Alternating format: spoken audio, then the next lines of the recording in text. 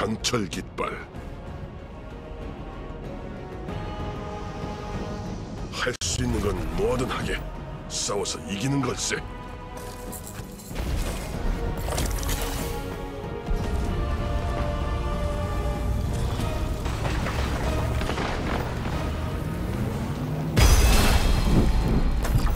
거점 어드밴티지를 차지했군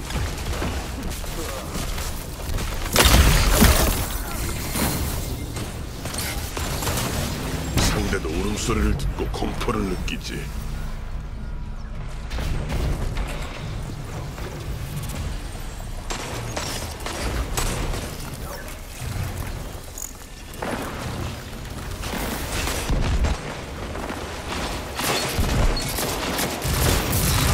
두명 처치.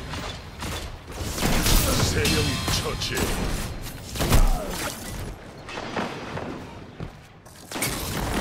늑대들을 쉬게 하게.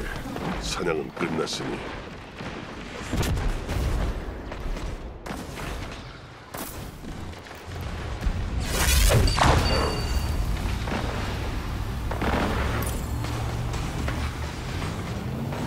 거점 어드밴티지를 차지했군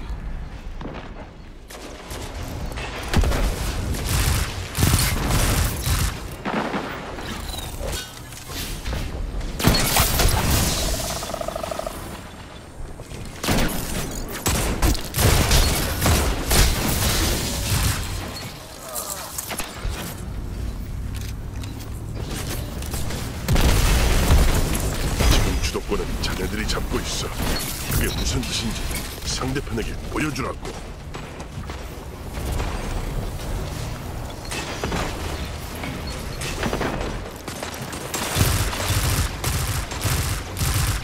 판정을 내리지 처부수게.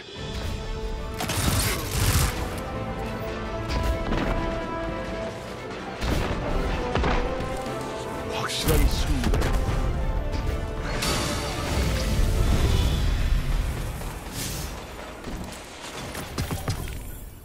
더 강해진 것 같나? 그래야지.